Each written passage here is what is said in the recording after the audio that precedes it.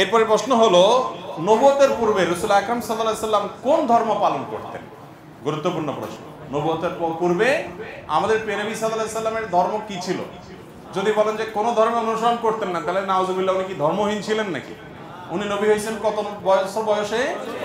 চল্লিশ বছর বয়সে। তাহলে চল্লিশ বছর বয়স মানে তো জীবনের মূল টাইমটা প্রায়। তো এই চল্লিশ বছর পর্যন্ত উনি নিজে তো নবী ছিলেন না। উনি নবী হয়েছেন তারপরে। তাহলে চল্লিশ বছর পর্যন্ত নবী হওয়ার আগে তার ধর্ম কি ছিল? এর উত্তর হলো যে আম্মাজান আয়েশা রাদিয়াল্লাহু তাআলা আনহা বর্ণিত হাদিস যেটি বুখারীতে আসছে, মুসলিমে আসছে। তিনি বলেছেন যে, কান নবী আলাইহি সাল্লাম ইয়াখলু বিগার হিরা ইয়াতাহান্না ফি। নবী আলাইহি সাল্লাম নবী হওয়ার আগে হেরা গুহায় গিয়ে ইবাদত বন্দেগি করতেন। ইয়াতা হান্নাফ এর তর্জমা ইবনে হাসার হাজার আসকার নামে অনেকে বলেছেন ইয়াতা হান্নাফ অর্থাৎ ইব্রাহিম আলাইসালামের যে দিন হানিফ ছিল, ওই দিন হানিফের উপরে তিনি অটল থাকতেন, অবিচল থাকতেন। সমাজের বিভিন্ন অপরাধ, এগুলোর যে আপনার, কি বলে এটাকে, এগুলোর যে ছোঁয়া, এগুলোর যে আঁচ, এগুলো নবীজি সাল্লাহ সাল্লামের গায়ে তিনি লাগাতে দিতেন না। বরং তিনি হেরা গুহায় গিয়ে আল্লাহর ইবাদত বন্দিগি করতেন। ইব্রাহিম আলাইসাল্লামের যে মিল্লাত ছিল, মিল্লাত ইব্রাহিমই যেটাকে বলা হয়, এই মিল্লাত ইব্রাহিমের উপরে নবী করিম সাল্লাম ছিলেন। তাহলে তার নবীগতের আগের যে সময়টা, এই সময়টাতে তার যে দিন ছিল, এটা ছিল দিন ইব্রাহিম। কোন দিন ছিল? তার বাবা পূর্বপুরুষ ইব্রাহিম আলাইসাল্লামের দিন এবং মিল্লাতের উপরে ছিলেন এবং সেই মিল্লাত, সেই আকিদা এবং সেই মানের উপরে থেকে তিনি গাড়ে হেরায় গিয়ে আল্লাহ তালার জিকির, আল্লাহর স্মরণ দোয়া করতেন। নবী করিম সাল্লা সাল্লাম মক্কায় জন্ম হয়েছে তার। মক্কায় বড় হয়েছেন, চল্লিশটা বছর নবী হওয়ার আগ পর্যন্ত এখানে কাটিয়ে দিয়েছেন।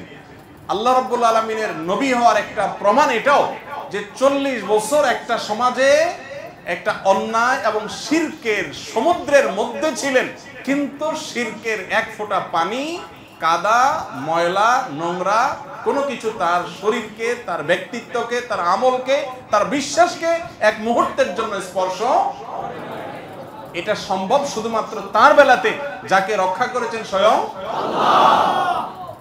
তার নবী মোহাম্মদ সাল্লাহ সাল্লাম মক্কায় সবাই যখন মূর্তি পূজা করে, সবাই যখন শির করে, সবাই যখন শির্কের ভিতরে নিমজ্জিত সবাই যখন বিভিন্ন জাহিলি যুগের কর্মকাণ্ডে নিমজ্জিত, গোটা সমাজ একদিকে যাবে, একটা মানুষ স্রোতের বিপরীতে একা একা টিকে থাকবে, কেউ তাকে ওয়াজ নসিহত করে কনভিন্স করছে, এরকমও না।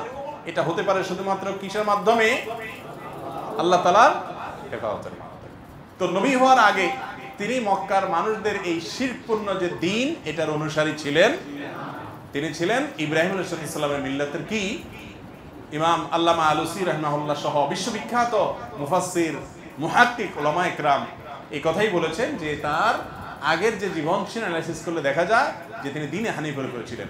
তিনি যদি নিজে নবী হওয়ার আগে এক মুহূর্তের জন্য অন্যদের দেখা দেখি বাচ্চা কালেও যদি অন্তত শিরকের কাজ করতেন নাওজুবিল্লাহ তাহলে শিরকের বিরুদ্ধে তিনি যখন তাওহিদের দাওয়াত দিয়েছেন, মক্কার মানুষ বলতো যে, তুমি নিজেই তো একসময় করতা ঠিক না ঠিক। কিন্তু অমুসলিমদের রচিত কোনো নবীজির জীবনী গ্রন্থেও এরকম তথ্য পাবেন না যে মক্কার কোন মানুষের বুকের পাটায় বল ছিল যে নবীজিকে বলবে যে তুমি নিজেও করেছ। কারণ তিনি শিশুকাল থেকে সবাই শিরকে নিমজ্জিত থাকলেও বা বেশিরভাগ মানুষ নিমজ্জিত থাকলেও তিনি কিন্তু আল্লাহর অশেষ অনুগ্রহে সেফ ছিলেন, নিরাপদে ছিলেন। তারা আপন দাদা, তিনি মক্কার কুরাইশদের নেতা ছিলেন। যারা মূর্তি পূজা করতো তাদের লিড দিতেন। কিন্তু আল্লাহ তালা প্রিয় নবী সাল্লাহ সাল্লামকে হেফাজতে নিজের আপন চাচা আবু তালেব, তিনি নবী করিম সাল্লা সাল্লামের অনেক প্রিয় ছিলেন। নবীজি সাল্লাহ সাল্লাম তার স্নেহের ভাতুষপুত্র ছিলেন। কিন্তু তারপরও চাচা বা দাদার আদর্শকে বা চাচার বন্ধুরা, বাবার বন্ধুরা বা অন্য যারা আছেন, মক্কার মোশেক যারা ছিলেন, সবাই তো ধরেন উনি যখন সবাই তো সিনিয়র মুরব্বী। তাদের ভুল কিছু তিনি গ্রহণ করতেন।